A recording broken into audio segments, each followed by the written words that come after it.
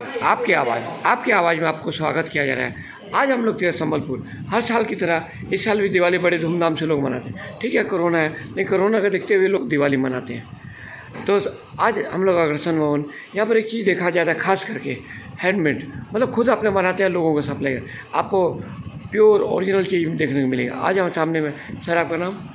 राजेंद्र अग्रवाल। और सर आपका? राजकुमार अग्रवाल। कानू जालान। जी sir. Sir जो आज प्रोग्राम हो रहा है जो आप देखा जा रहा है हर तरफ़ मिठाइयाँ मिठाइयाँ हर डिज़ाइन की मिठाइयाँ यहाँ पर है। और लोग बड़े खुश होकर नंबर लगाते हैं पहले एडवांस पैसा देते हैं तब उन्हें मिठाई मिलती है।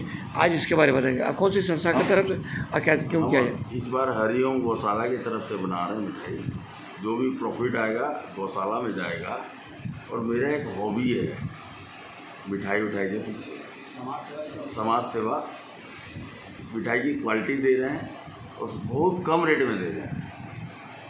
जी सर चलिए थैंक यू अभी हम कानू भाई से कानू भैया जो देखा जाता है जो मिठाइयाँ आप लोग खुद खड़े होते हैं खुद बनवाते हैं यहाँ पर और लोग आके यहाँ से लेके जाते हैं। सबसे बड़ी खासियत बात है कि जो भी आप प्रॉफिट नहीं रखे गौशाला में दे या धर्मशाला में आप कुछ ना कुछ करते रहते हैं। तो सर आज इसके बारे में बताएँगे आप कौन सी डिज़ाइन की मिठाइयाँ बना रहे हैं और कहाँ कहाँ सप्लाई हो रही है? देखिए हम सात साल से संस्था में जुड़े हुए हैं और समाज के लिए ये मिठाइयाँ हम हर सात साल से बनाते आ रहे हैं। इस बार हमने डिसाइड किया कि हम संस्था में पैसे न देकर गौवे, आप जानते हैं गौशाला में गौवे, उनका लालन पालन 600 गाय हैं।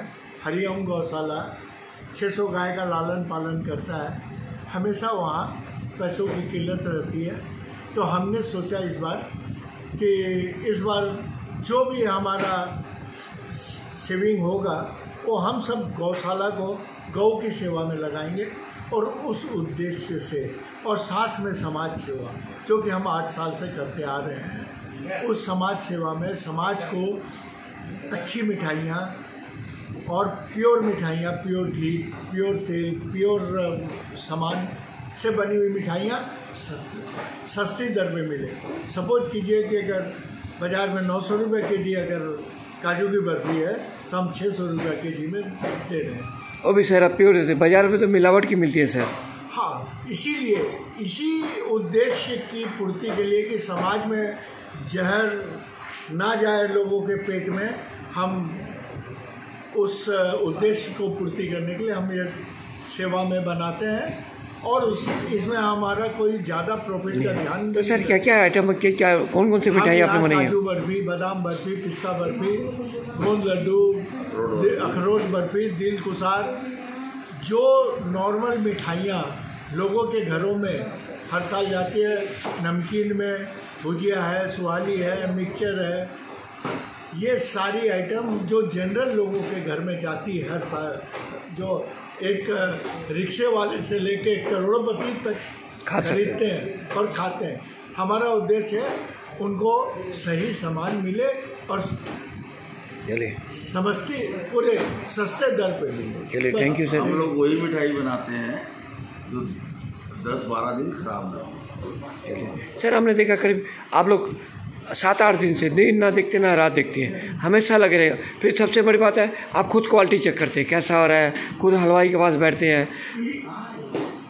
इसलिए कि इसका उद्देश्य है सेवा। हम लोग सेवा माना जन, जन सेवा सेवा भावना गौ सेवा और जन सेवा। सर जिस तरह आगे साल कोई आपसे मिठाई बुक करना चाहे क्या करना चाहे लोग नया आए जो उसके बारे में क्या कमर्शियल नहीं करते हैं। पिछले वर्ष के आने वाले वर्ष के लिए हम लोग नहीं बोल सकते। नहीं बोल सकते। चलिए। हाँ, करेंगे।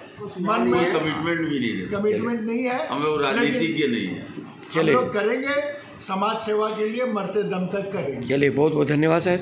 अजय हमने देखा, इन्होंने ना दिन देखते हैं, ना रात देखते हैं। सुबह से आ जाते हैं परिवार को छोड़ के, यहीं लगे रहते हैं। और किस तरह लोगों को अच्छी चीज़, अच्छी क्वालिटी और प्योर क्वालिटी मिठाइयाँ मिल सके, ये दिन रात रखते हैं। और सबसे बड़ी बात है, ये अपने पॉकेट के पैसा लगाते हैं। और जो भी खर्चा आता है, जो भी प्रॉफिट आएगा, ये सारा का सारा गौ माता सेवा के लिए लगाएँगे।